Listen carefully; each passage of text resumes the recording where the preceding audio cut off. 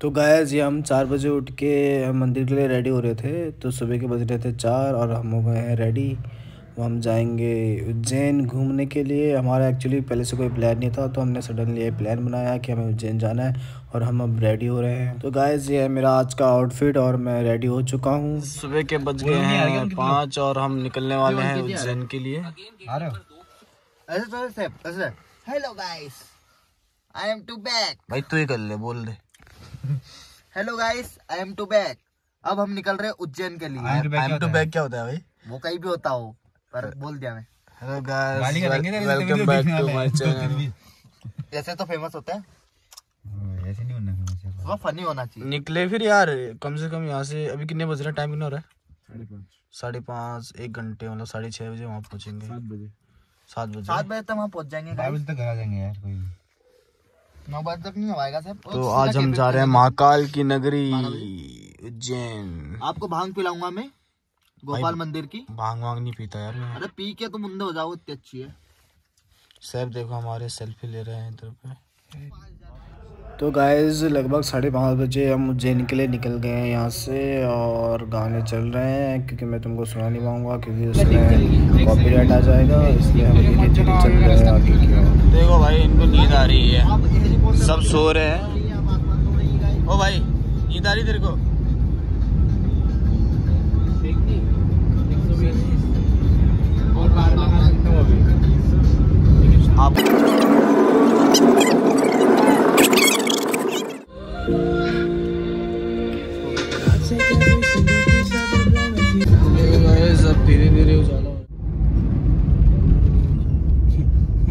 Finally guys पहुँच गए हैं उज्जैन।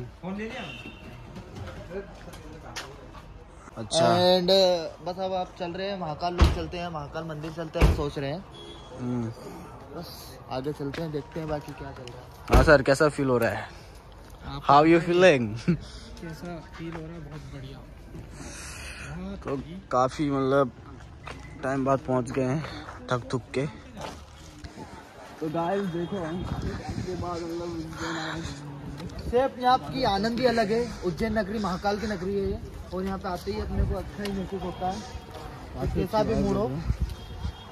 भाई बहन महाकाल का दर्शन करने के बाद आपको एक अलग सा ही महसूस होगा।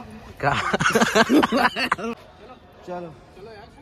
तो गाइस आज पहली बार एक्सपीरियंस कर रहा हूँ उज्जैन का। और काफ़ी अच्छा फील हो रहा है मेरे को। देखो गाइस ये है उज्जैन नगरी तो पूरा आते रहते हैं ये भी दिखाना भाई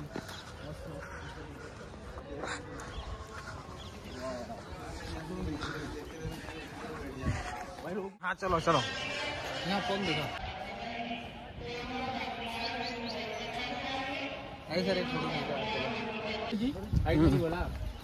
है रावण जी कहा है दिखाओ। महाराज रावण जी। ये है रावण जी। गोवर्धन नहीं पागल गोवर पूरा पूरा वो उठा रखा है उसने कैलाश पर्वत।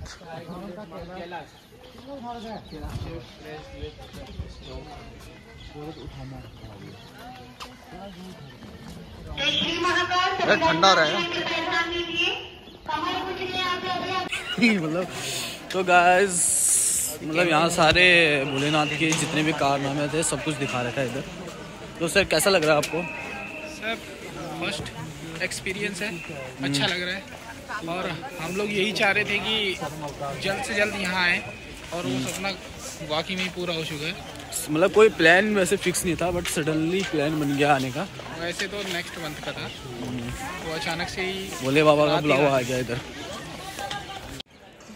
तो भाई चप्पल जूते उतार दिए। हैं चप्पल जूते गायब हो गए से इसी के साथ बिना चप्पल जूते थे और आदमी मोजे में आया है।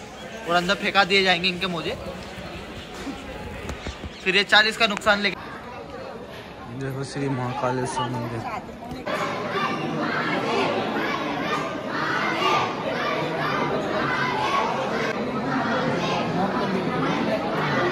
बहुत भीड़ है यार। बहुत ज़्यादा भीड़ है गाइस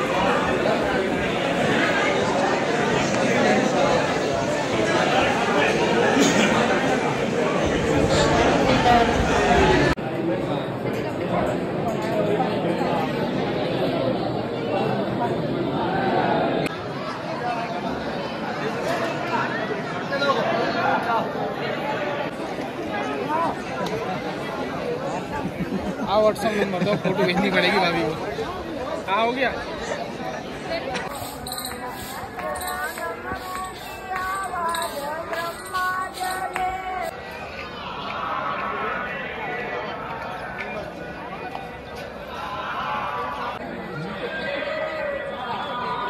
चले। यार कहाँ कुछ? आगे देखो जरा क्या है। गाइस तो फिर हम यहाँ पे देख रहे थे, इसमें भगवान शिव जी के सारे जितने भी रूप थे, सब दर्शाए गए थे एक एक करके और काफ़ी अच्छा दृश्य था। काफ़ी अच्छा लगा ये सब देखकर और काफ़ी अच्छी वाइब थी यहाँ की। बहुत ही मतलब मन एकदम, कहते हैं ना कि सुकून, एक सुकून सा था। काफ़ी अच्छा लगा हमें यहाँ घूमकर।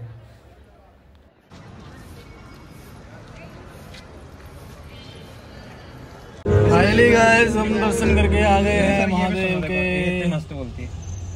अरे कितनी मस्त बोलती है। अबे गाना गाएगी भाई वो। सर सिंगर है पकड़े सिंगर।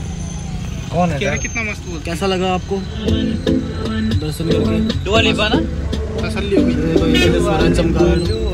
दारू चाहिए दारू गाइस ओ भाई अभी मंदिर से आए हैं और ये इतना गंदी बातें कर रहे हैं। चलती गाड़ी से फेंक दिलाती है नहीं दारू तो दारू पीनी है।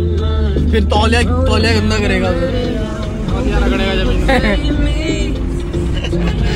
वो कांड अलग ही था यार वो वो कैफ़े वो। यार।